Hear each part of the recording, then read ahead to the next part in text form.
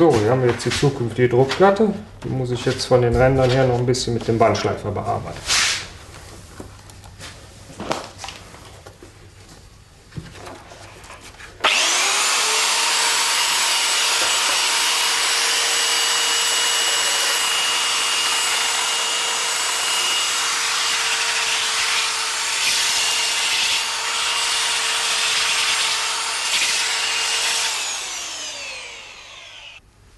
So, jetzt kommt die Übertragung meiner Skizze auf die Platte.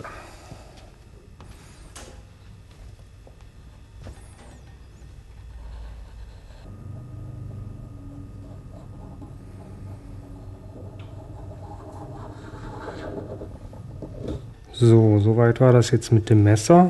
Jetzt komme ich hier zu dem Mezzotinto und werde da noch unterschiedliche Schwärzen eingravieren.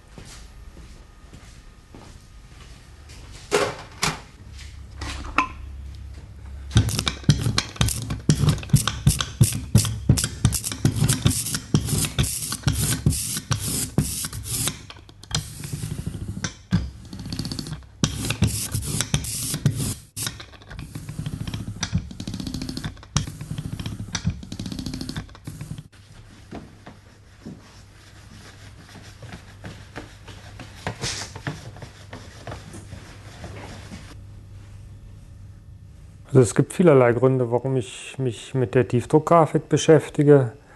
Einer der prägendsten ist halt, äh, wie der Ausdruck prägend schon sagt, dass ins Papier das Bild eingeprägt wird.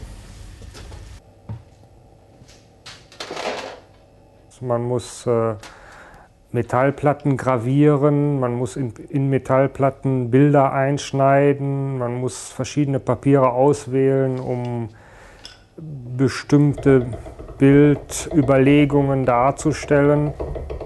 Wenn ich eine Metallplatte graviere, wird der Ausdruck nachher im Papier immer ein, ein absolutes Charakteristikum haben, der nicht vergleichbar ist mit einem, einem Gemälde, nicht mit einer Zeichnung und auch nicht mit einer Federzeichnung, die vielleicht am ehesten äh, einer Grafik ähneln würde.